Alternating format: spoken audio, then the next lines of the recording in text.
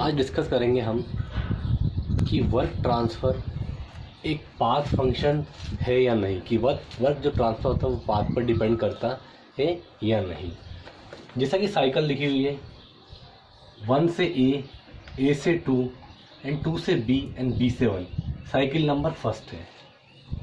One से A A से two two से सी एंड सी से one that is cycle number two है. वन से ए ए से टू टू से सी एंड सी से वन ये साइकिल नंबर टू है। हम जानते हैं कि हीट ट्रांसफ़र होता है। फ़र्स्ट लॉ ऑफ़ थर्मोडाइनमिक्स के अनुसार डी क्यू बराबर डी डब्ल्यू है। जितना हीट है, वो सारी की सारी जो एनर्जी है, वो एनर्जी सारी की सारी एनर्जी हीट में ट्रांसफ़र होती है। ठीक है?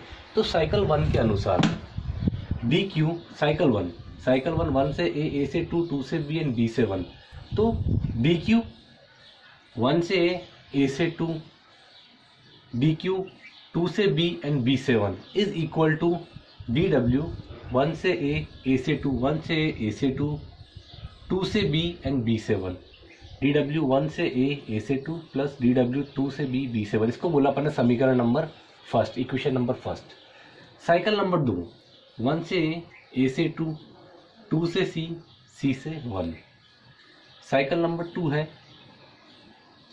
Heat transfer D Q one से ए ए से two plus D Q two से सी एंड सी से वन इज़ बरा equal to D W one से ए से two plus D W two से सी सी से वन इसको बोला अपने समीकरण नंबर दो. समीकरण एक में से, समीकरण दो को घटाने पर क्या मिलता है? जब इक्वेशन नंबर फ़र्स्ट में से इक्वेशन नंबर सेकंड घटाऊँगा इक्वेशन नंबर सेकंड घटाया तो मुझे क्या मिला? डी क्यू वन से ए से टू कैंसिल आउट हो जाएगा। डी क्यू वन से ए से टू इसी प्रकार डी डब्ल्यू वन से ए से टू डी डब्ल्यू वन से ए से टू कैंसिल आउट हो गया। तो क्या बचा अपने पास में? डी क्यू टू से बी बी से one minus D Q two से सी सी से one equal to D W two से बी बी से one minus D W two से सी सी से वन इसको बोला समीकरण नंबर तीन हम जानते हैं कि वर्क ट्रांसफ़र है। वो एक पाथ फ़ंक्शन है। वो पाथ पर डिपेंड करता है। जैसा कि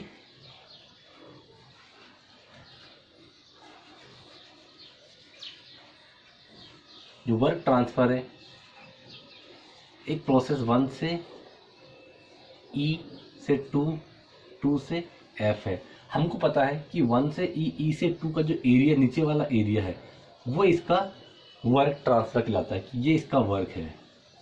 ये इसका वर्क है।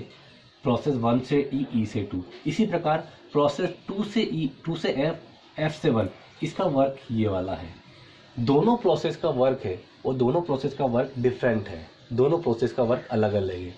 जो दोनों प्रोसेस है, उन दोनों प्रोसेस के एंड पॉइंट है वन जो कि सेम है। लेकिन एंड पॉइंट सेम होने के साथ साथ इसका मतलब ये नहीं है कि इनका वर्क ट्रांसफ़र भी सेम होगा। दोनों का एरिया अलग अलग है तो दोनों का वर्क ट्रांसफ़र भी अलग अलग होता है। तो हम जानते हैं कि वर्क ट्रांसफ़र क्या एक पाथ फ़ंक्शन है, जो कि पाथ पर डिपेंड करता है। तो इक्वेशन नंबर थर्ड से अपन को पता है डी डब्ल्यू टू से बी बी से one minus D W two से सी सी से वन ये जो वाला वर्क है, वो इज़ इक्वल नहीं हो सकता कि दोनों की साइकिल अलग अलग है, दोनों के प्रोसेस अलग अलग है। दोनों का जो एरिया है, वो दोनों का एरिया डिफरेंट है। तो डी डब्ल्यू टू से बी बी से one is not equal to two से सी सी से वन जब इसका वर्क ट्रांसफ़र समान नहीं होगा तो इसका हीट ट्रांसफ़र समान कैसे होगा? टू से D D D Q two से बी बी से one minus D Q two से सी वन। तो डी क्यू टू से बी बी से वन माइनस टू से D D Q not equal to zero. ये ज़ीरो नहीं हो सकता है। इसी प्रकार डी क्यू टू से बी बी से one is not equal to two Q, two से सी सी से one is not equal to. इसका मतलब ये जब वर्क ट्रांसफ़र समान नहीं हुआ तो हीट ट्रांसफ़र समान कैसे होगा? इसलिए जो हीट ट्रांसफ़र है, cycle one and cycle two दोनों का जो एंड पॉइंट है, वो समान है। इसमें प्रोसेस टू से बी बी से वन प्रोसेस टू से सी एंड सी से वन दोनों का एंड पॉइंट समान है। एंड पॉइंट समान है, लेकिन इसका जो हीट ट्रांसफ़र है, वो समान नहीं है। इसलिए जो हीट ट्रांसफ़र है, वो एक पाथ फ़ंक्शन एक पाथ पर डिपेंड करता है। ना कि एक प्रॉपर्टी पर डिपेंड करती है। ये एक पाथ फ़ंक्शन है।